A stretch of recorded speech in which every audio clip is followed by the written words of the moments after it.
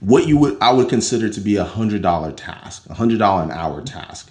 You know, and these are things that you're doing to put your business in front of more eyeballs. So that could be creating content, running ads, I'm sending in emails, like different things like that. What are you doing to generate leads and get your your service, get your business, get your brand in front of more eyeballs to generate opportunities for yourself?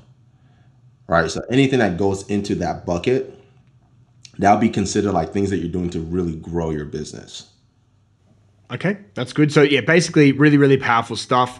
Obviously, every business, the lifeblood of it is lead generation. So, if you don't have leads, you don't have anything. It's like, you know, a, a business can kind of seem like a large bucket with holes going through it, and then you have a tap on. And the tap is basically your lead flow. If you have a dribble of lead flow going in, it doesn't matter how good you are at filling the holes in the bucket, nothing else is going to matter.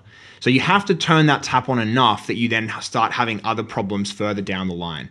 The yeah. second area that we mentioned was booking appointments. So what's like the process involved with actually being able to do that?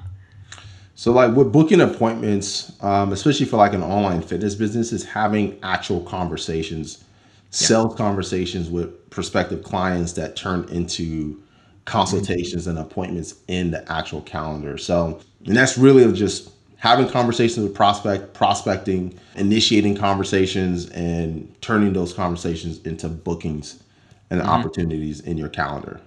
Yeah. So some really simple examples of this would be that, you know, people have kind of looked at your stuff, they've clicked into an opt-in or something like that, and now you might be ch- chatting to them in either ManyChat or Facebook Messenger or something along those lines, right?